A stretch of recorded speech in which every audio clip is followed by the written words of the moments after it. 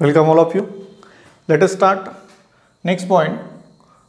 that is photoelectric effect. So we have discussed briefly in previous lecture about photoelectric effect but let us going to discuss in detail what is photoelectric effect. So this is diagram for photoelectric effect. The experiment of photoelectric effect actually done by Einstein हा experiment कोणी केलेला आहे आईन्स्टाईनने perform केलेला आहे so this is setup for photo electric effect first of all what is mean by photo electric effect photo electric effect means the ejection of electron the ejection of electron ejection of electron from the surface of metal from the surface of metal by radiation by radiation by radiation is called as is called photoelectric effect is called photoelectric effect is called photoelectric effect so this is means ejection of electron म्हणजे radiation radiation incident झाल्यानंतर electron eject होणं मेटलच्या सरफेसवरून या प्रोसेसला काय म्हटलं जातं फोटो इलेक्ट्रिक इफेक्ट असं म्हटलं जातं मग इथे मेटल्स कोणते असतील generally lithium caesium sodium okay lighter म्हणजे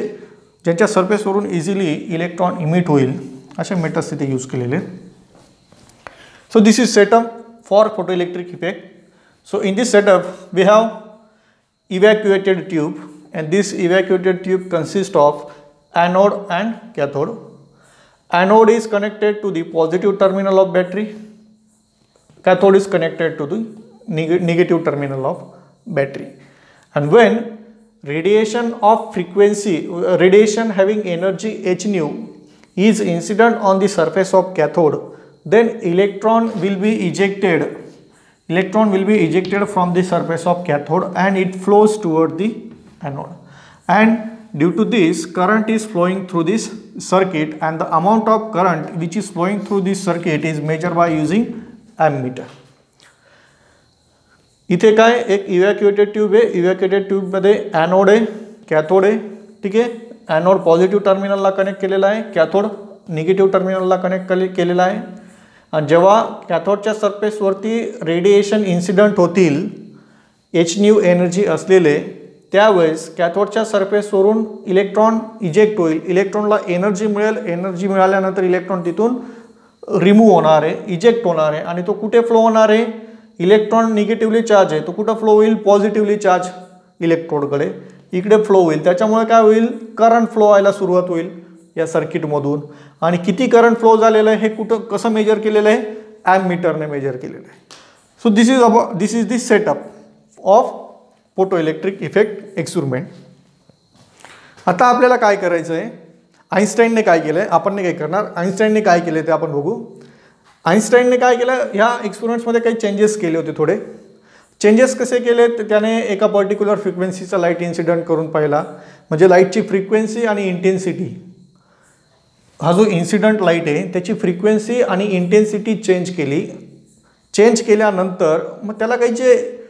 ऑब्झर्वेशन्स त्याला काही जे जे रिझल्ट्स मिळाले ओके त्याला जे काही रिझल्ट्स मिळाले त्याच्यावरून त्याने काही कन्क्ल्युजन काढलेत ओके म्हणजे त्याच्या ऑब्झर्वेशन्सवरून त्याने कन्क्ल्युजन्स काढले मग ऑब्झर्वेशन मग एक्सपेरिमेंट थोड्या वेगळ्या पद्धतीने केला त्याने एक्स फ्रिक्वेन्सी इन्सिडंट लाईटची फ्रिक्वेन्सी चेंज करून पाहिली त्यानंतर इन्सिडंट रेडिएशनची इंटेन्सिटी चेंज करून पाहिली काय इफेक्ट होतो तो डिटर्म तो स्टडी केला आणि त्याच्या बेसिसवर त्याने त्याचे ऑब्झर्वेशन्स आणि कन्क्लुजन प्रपोज केले आहेत so let us see observations and conclusions of the experiment observations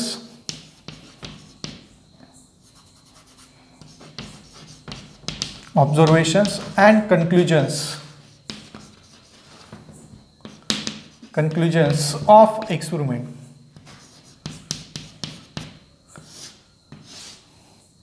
First observation is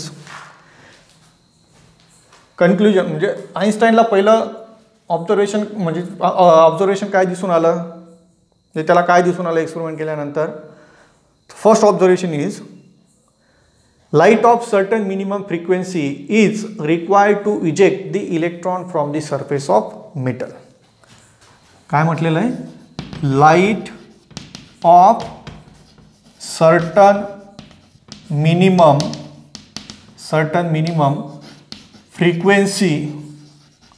frequency is required is required to eject to eject the electron from the from the surface of metal from the surface of metal is called is called threshold frequency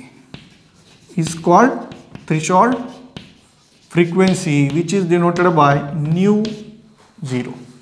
which is denoted by nu 0 okay and this threshold frequency is different for different type of metals म्हणजे लिथियमसाठी थ्रिशॉल फ्रिक्वेन्सीची value वेगळी असणार आहे सोडियमसाठी वेगळी असणार आहे सीझियमसाठी थ्रिशॉल फ्रिक्वेन्सीची value वेगळी असणार आहे सो पहिलं ऑब्झर्वेशन काय light of certain minimum frequency is required to eject the electron from the surface of metal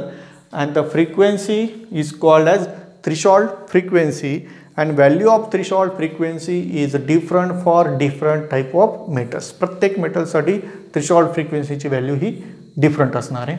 okay म्हणजे कोणत्याही फ्रिक्वेन्सी असलेला लाईट जर इन्सिडंट केला तर तिथून इलेक्ट्रॉन इजेक्ट होईल असं नाही तर सेकंड ऑब्झर्वेशन तेच आहे त्याचं if frequency of incident light if frequency of incident light is less than threshold frequency if frequency of incident light less than less than threshold frequency then then electron will not eject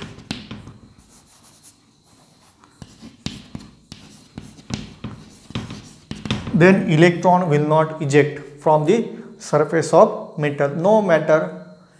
how, how high its intensi in, uh, intensity and how long it fall on the surface of metal. Okay.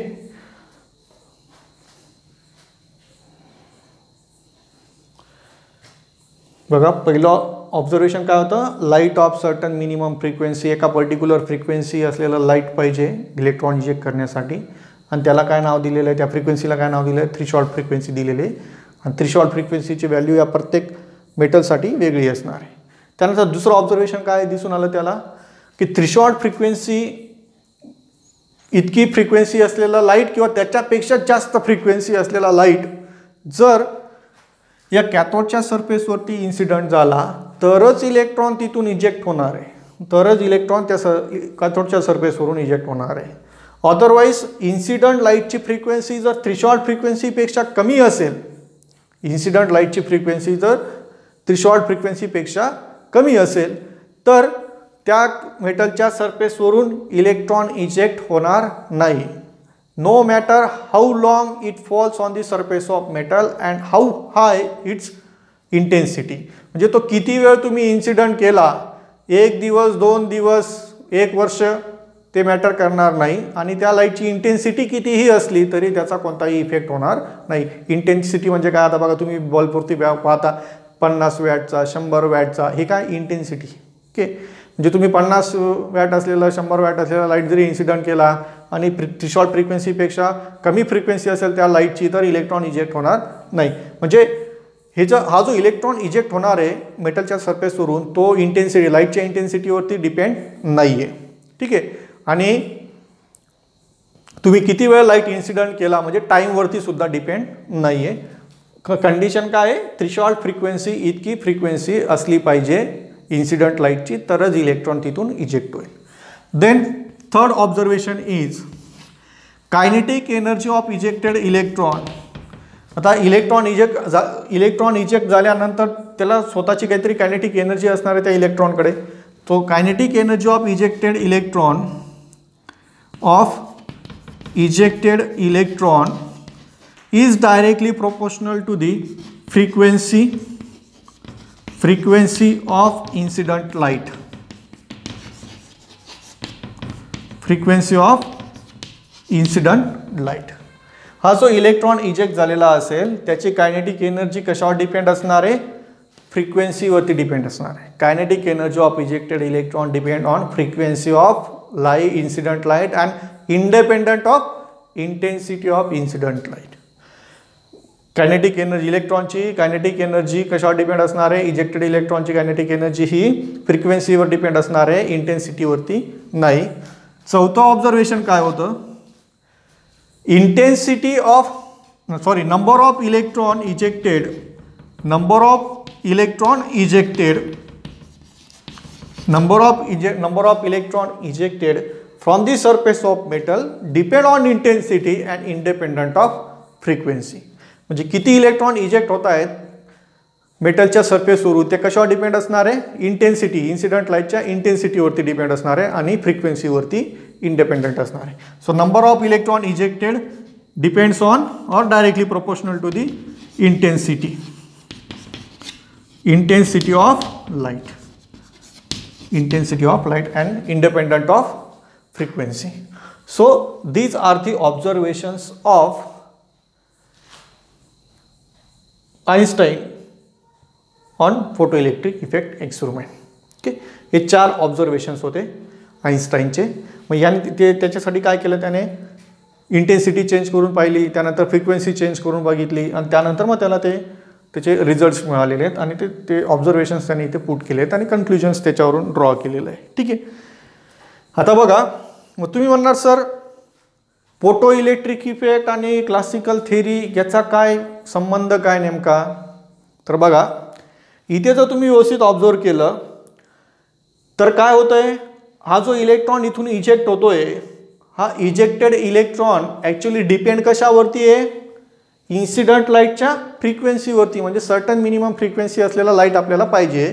तरच electron eject होईल classical थेअरीमध्ये कशी concept होती बरोबर classical थेअरीमध्ये म्हणजे classical थेअरीच्या बेसिसवरती ह्या photo electric इफेक्टचे हे results काय एक्सप्लेन करता आले नाहीत तर त्याच्यामागे एक रिझन आहे according to classical theory according to classical theory energy of light depends on intensity of light. Energy of radiation is depend on intensity of light. Classical theory kaya mante hai? Classical theory, according to classical theory of, of light, energy of light, energy of light depends on, depends on, depends on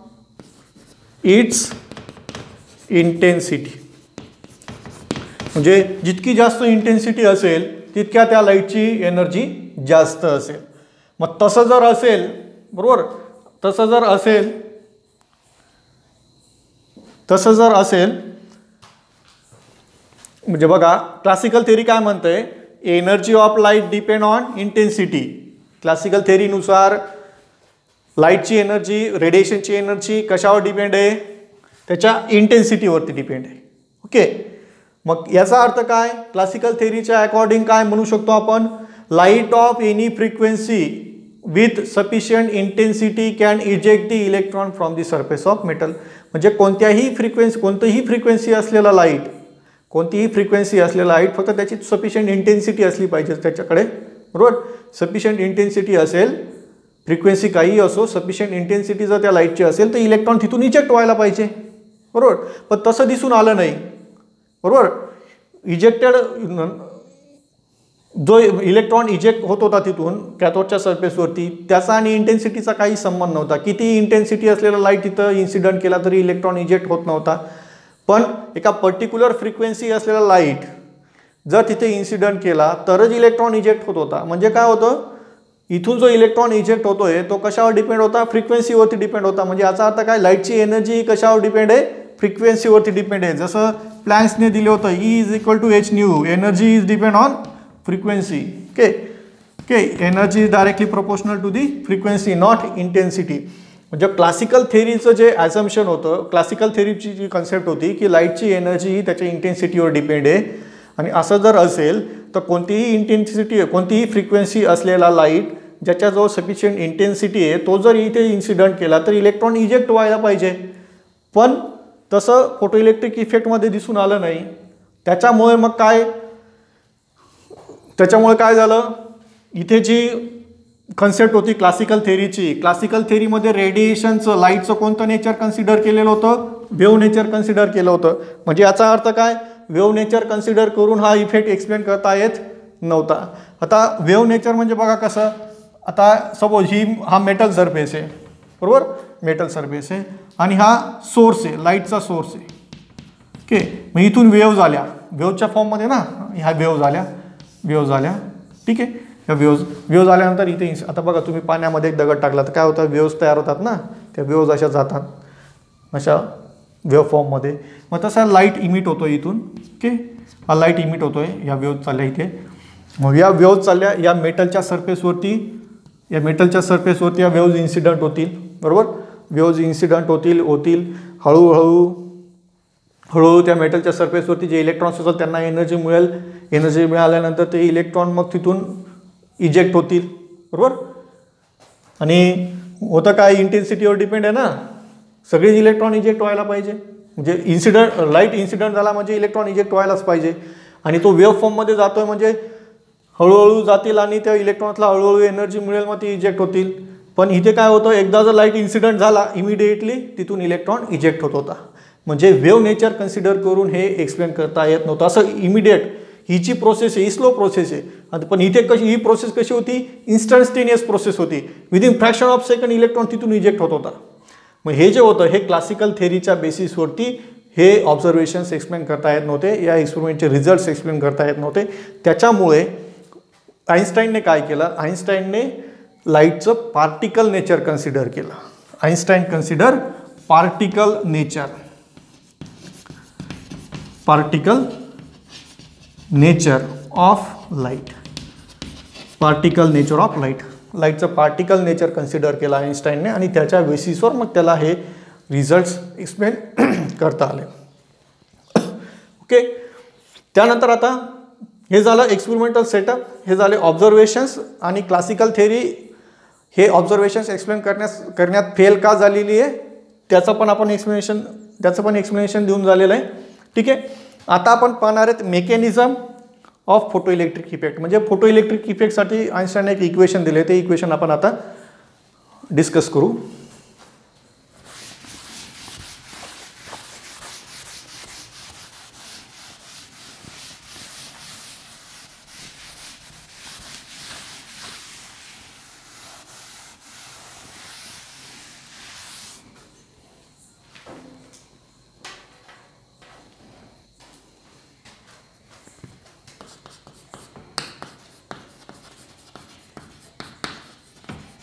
mechanism of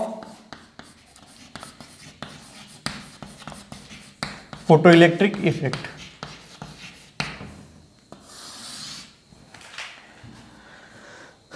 So,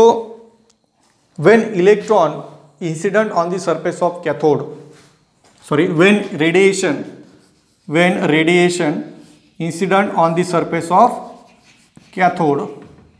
then electron is ejected and it flows towards the anode okay so this is radiation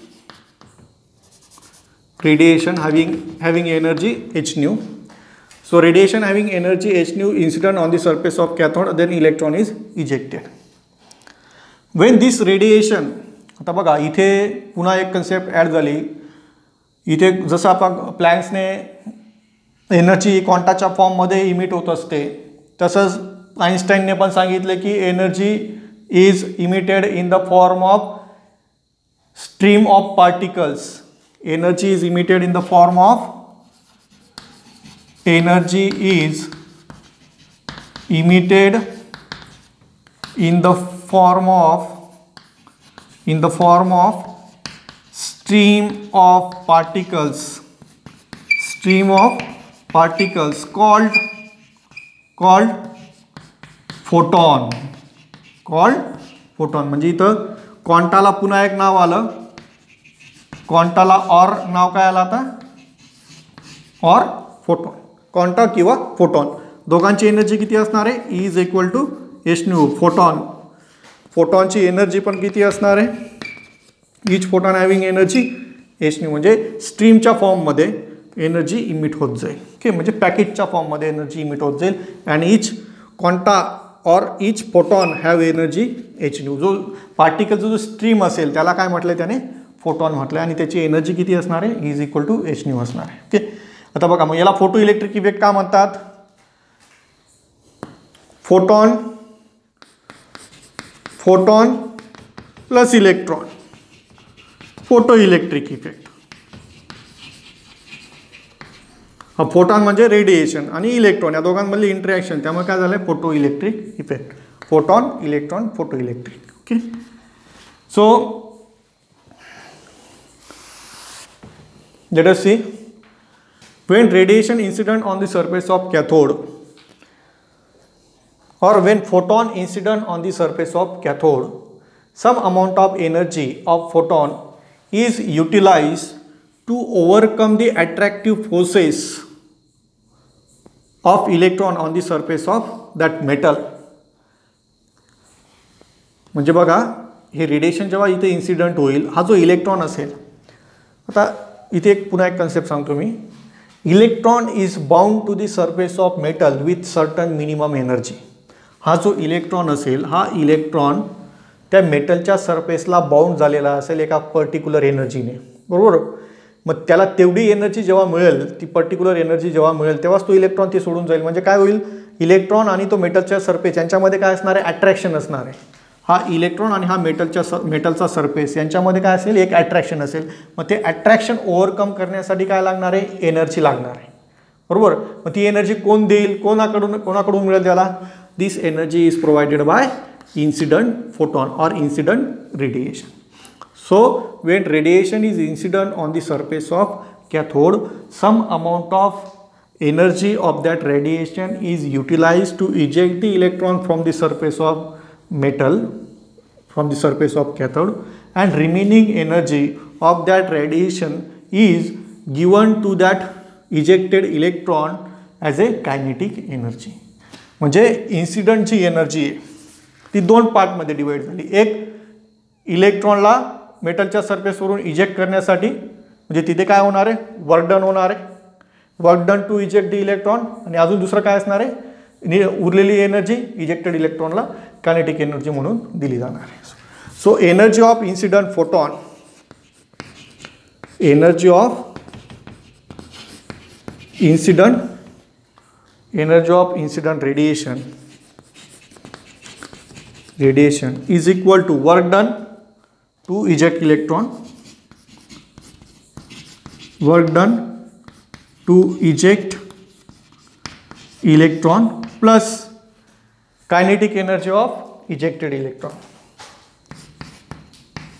Kinetic energy of ejected electron. So energy of incident radiation is h nu. Work done to eject the electron is denoted by phi. This, this is called as work function. Phi is work function. Work function. And this phi is equal to h nu naught. This is threshold frequency of that particular metal. Plus kinetic energy of electron. So kinetic energy of electron is 1 half mv square. Okay. So this is written as h nu is equal to phi is equal to what work function work function is h nu naught so h nu naught plus 1 half mv square okay so nu is frequency of incident radiation frequency of incident radiation h Planck's constant mu zero, mu zero is threshold frequency of that particular metal okay here m is mass of electron v is velocity of electron and this is overall this is kinetic energy of ejected electron so kinetic we can calculate kinetic energy of ejected electron from this formula 1 half mv square is equal to if this goes to this side become negative so h nu minus h nu naught so this is so if you subtract this value from energy of incident radiation then you you will get value of kinetic energy of ejected electron ejected इलेक्ट्रॉनच्या kinetic एनर्जीची value तुम्हाला या फॉर्म्युल्याने calculate करता येईल and this is called as Einstein photo electric equation ह्या इक्वेशनला काय म्हटलं जातं आईन्स्टाईन्स फोटो इलेक्ट्रिक इक्वेशन बघा कसं आलेलं आहे इन्सिडंट रेडिएशनची एनर्जी दोन पार्टमध्ये डिवाईड केलेली आहे एक इलेक्ट्रॉनला मेटलच्या सरफेसवरून इजेक्ट करण्यासाठी लागणारी एनर्जी आणि दुसरी इजेक्ट झालेला इलेक्ट्रॉनला जी काही उरलेली एनर्जी असेल इन्सिडेंट रेडिएशनची ती इजेक्टेड इलेक्ट्रॉनला कायनेटिक एनर्जी म्हणून दिली जाणार आहे ही जी जे इलेक्ट्रॉनला इजे इजेक्ट करण्यासाठी जी एनर्जी लागणार आहे त्याला आपण वर्क डन म्हटले कारण वर्क डन होणार आहे इलेक्ट्रॉनला तिथून इजेक्ट करायचं आहे ते फायने डिनोट केलं जातं त्याला म्हटलं जातं वर्क फंक्शन वर्क फंक्शन म्हणजेच काय मी मगाशी तुम्हाला सांगितलं electron is bound to the surface of metal with certain minimum energy is called as work function. Okay. So h nu is equal to h nu is equal to phi plus 1 half mu square. So we have h nu phi is equal to h nu naught. This is threshold frequency plus 1 half mu square. So 1 half mu square is equal to h nu minus h nu naught. This is Einstein's photoelectric equation. Okay. So this is Einstein's photoelectric equation and Einstein got Nobel Prize for his discovery of photoelectric effect okay photoelectric इफेक्टच्या एक्सपेरिमेंटमुळे आईन्स्टाईनला Nobel prize मिळाला आहे सगळ्यात मोठा breakthrough breakthrough काय होता इथे आईन्स्टाईनने रेडिएशनचं लाईटचं कोणतं नेचर कन्सिडर केलं पार्टिकल नेचर कन्सिडर केलं पार्टिकल नेचर कन्सिडर केल्यामुळेच त्याला हे ऑब्झर्वेशन्स एक्सप्लेन करता आले होते क्लासिकल मेकॅनिक्समध्ये क्लासिकल थेरीमध्ये किंवा क्लासिकल मेकॅनिक्समध्ये लाईटचं वेव नेचर कन्सिडर केलेलं होतं आणि वेव नेचर कन्सिडर करून हे ऑब्झर्वेशन्स एक्सप्लेन करता येत नव्हते क्लासिकल मेकॅनिकची कन्सेप्ट काय होती ते पण तुम्हाला मी सांगितलं होतं क्लासिकल मेकॅनिक्समध्ये लाईटची एनर्जी इंटेन्सिटीवर डिपेंड होती आणि तसं जर असेल तर मग कोणत्याही इन कोणत्याही फ्रिक्वेन्सीचा लाईट इन्सिडंट झाला त्याच्याजवळ सफिशियंट इंटेन्सिटी असेल तर इलेक्ट्रॉन इजेक्ट व्हायला पाहिजे होता पण तसं झालं नाही आईन्स्टाईनला तसं दिसून आलं नाही त्याच्यामुळे त्याला पार्टिकल नेचर कन्सिडर करावं लागलं आणि पार्टिकल नेचर कन्सिडर केलं तर इलेक्ट्रॉ जेव्हा रेडिएशन इन्सिडंट होईल तिथून इमिडिएट इलेक्ट्रॉन इजेक्ट व्हायला पाहिजे फोटो इलेक्ट्रिक इफेक्टमध्ये पण तसंच झालं जसं रेडिएशन इन्सिडंट होत होतं तसं इलेक्ट्रॉन इमिडिएटली इजेक्ट होत होता पण इन्सिडंट रेडिएशनची एनर्जी फ्रिक्वेन्सी किती असली पाहिजे होती तरी शॉर्ट फ्रिक्वेन्सी इतकी असली पाहिजे का त्याच्यापेक्षा जास्त असली पाहिजे तो तर इलेक्ट्रॉन तिथून इजेक्ट होत होता so this is all about the photo electric effect okay so thank you